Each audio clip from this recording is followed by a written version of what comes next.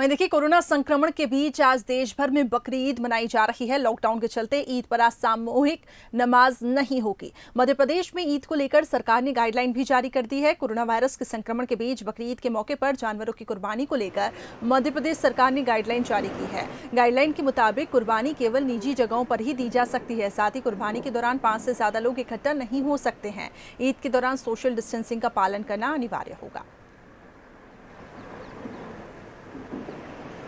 तो social distancing के साथ एक दूसरे को बधाई दी जा रही है। कुछ तस्वीरें देखिए हमें मिल रही है, लेकिन फिर भी कहीं ना कहीं भीड़ बहुत ज़्यादा दिखाई दे रही है। हालाँकि सामूहिक जगह पे कहा गया है कि नमाज़ नहीं अता करें।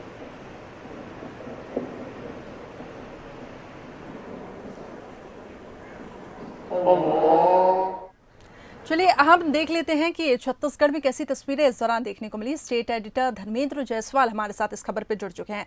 धर्मेंद्र जी, एक तरफ़ कोरोना काल है और दूसरी तरफ़ देश भर में ईद मनाई जा रही है। ये बताएँ कि वहाँ पे किस तरीके का नज़ारा देखने को मिला? क्या नमाज़ अता की गई हिफाजत के साथ?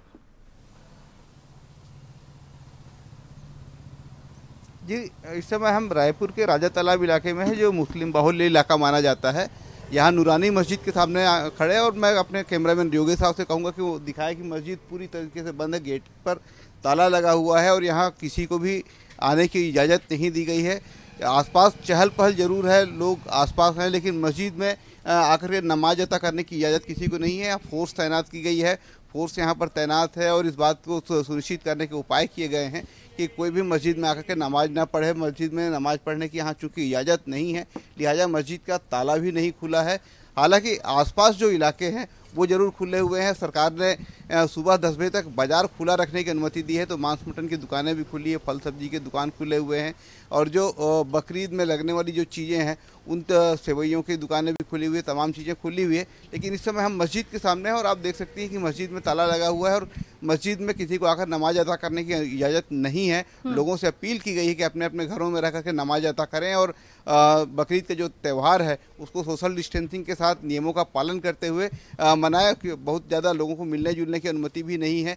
ये साफ़ तौर पर गाइडलाइन जारी किया गया है कि सोशल डिस्टेंसिंग बनाए रखें सार्वजनिक रूप से स्थान स्थानों पर जाकर भीड़ न लगाएँ मस्जिदों में इकट्ठा ना हो तो इसका पालन छत्तीसगढ़ के रायपुर में आ, किया जा रहा है।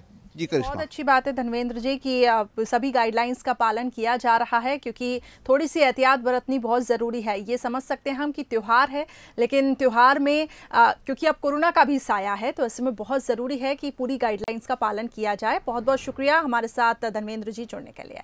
तो देखिए सोशल डिस्टेंसिंग के साथ छत्तीसगढ़ में ईद का त्यौहार मनाया जा रहा है। हालाँकि पुलिस बल भी तैनात है कि इस दौरान कई अगर ऐसा देखने को मिले कि काफ़ी ज़्यादा भीड़ हो तो पुलिस बल वहाँ पर तैनात कर दी गई है। तो सोशल डिस्टेंसिंग के साथ लोग एक दूसरे को ईद की बधाई दे रहे हैं।